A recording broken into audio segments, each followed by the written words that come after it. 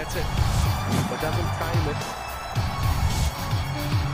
Oh, what a catch this is. السلام علیکم دوستو ابھی ملتان سلطان اور کوئٹہ گلیڈیٹر کے درمیان لاہور سٹیڈیم میں میچ کھیلا جانا تھا لیکن میچ ابھی تک سٹارٹ نہیں ہو سکا ٹاس بھی ڈیلے کر دیا گیا ہے۔ اس کی کیا وجہ بنی اور بارش کتنی تیز ہے؟ کیا بارش روک سکتی ہے؟ اگر بارش روک گئی تو کتنے اوورز کا میچ ہوگا؟ مکمل تفصیل آپ لوگوں کو بتاتے ہیں، لیکن اس سے پہلے اگر چینل پہ فاسٹ ٹائم ہے تو بالکل بھی فری میں چینل کو سبسکرائب کر کے ساتھ بیل آئیکن کو بھی ضرور انیبل کر دینا ہے۔ تو چلیے دوستو، بغیر کوئی آپ کا قیمتی وقت سے کیے، آپ کو بتاتے چلیں کہ ساڑھے چھ بجے ٹاس ہونا تھا۔ ملتان سلطان اور کوئٹہ گلیڈیٹر کے درمیان۔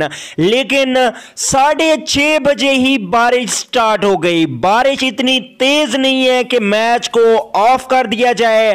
ابھی انتظار کیا جا رہا ہے کہ بارش رک جائے، اس کے بعد گراؤنڈ کو صاف کر کے میچ سٹارٹ کیا جائے۔ لیکن جو موسم کی صورتحال ہے، ایسا لگتا ہے کہ یہ میچ کال آف کر دیا جائے گا۔ موسم کی صورتحال بہت زیادہ خراب ہے اور میچ ہونے کے چانس تقریباً بیس پرسنٹ سے بھی کم لگ رہے ہیں۔ اگر یہ میچ نہ ہوا تو اس کے لیے کوئٹہ گلیڈیٹر کو سب سے زیادہ خطرہ ہے اور اس کے سات پوائنٹ ہو جائیں گے اور زیادہ تر چانس ہیں کہ کوئٹہ گلیڈیٹر اس میچ کے بعد پی ایس ایل سے بہر ہو جائے گی۔ تو دوستو، ہم دعا کر سکتے ہیں کہ میچ ہو جائے۔ جو ٹیم جیتے، اس کی اپنی محنت ہوگی، لیکن میچ ہو جائے۔ لیکن ہونے کے امکان بہت زیادہ کم لگ رہے ہیں۔ اگر دوبارہ میچ سٹارٹ بھی ہوا، تو چھ سے سات اوور کا ہوگا، زیادہ نہیں ہو سکتا۔ اگلی ویڈیو تک کے لیے اجازت دیجیے اللہ نکبان